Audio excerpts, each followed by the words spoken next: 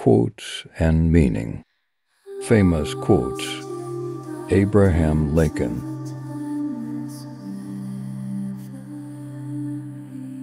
Life is about what you believe. Our beliefs shape our perceptions, choices, and experiences, underscoring the profound influence of personal convictions on the trajectory and quality of one's life journey. Our beliefs shape our perceptions, choices, and experiences, underscoring the profound influence of personal convictions on the trajectory and quality of one's life journey.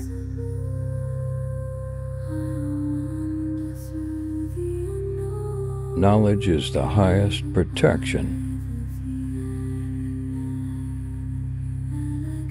Acquiring knowledge and understanding serves as a safeguard against ignorance and vulnerability highlighting the empowering and protective nature of education and enlightenment.